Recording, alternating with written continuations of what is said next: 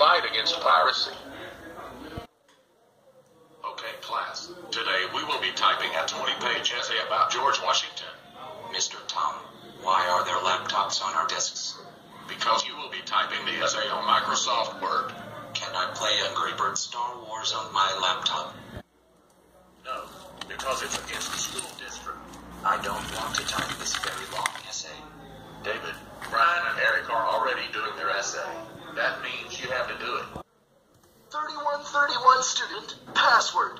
Go to Internet Explorer. Now it is 2.36 p.m. Hillsborough County Public Schools. That's good. I got a better idea. www.sesamestreet.org. Let's see. No, it's in blocked, but search Sinkhole Float. Ha ha! Sinkhole Float. What the, Jerry, get out of my computer right now. Well, then I need to play Sinkhole Float. No, not Jerry again. I'm going to get out of this media center, Jerry. And you will never see me again until I pick you up. Oh, my. It's 2.59 p.m. Very well. Instead, I'm going on www.coolmathgames.com.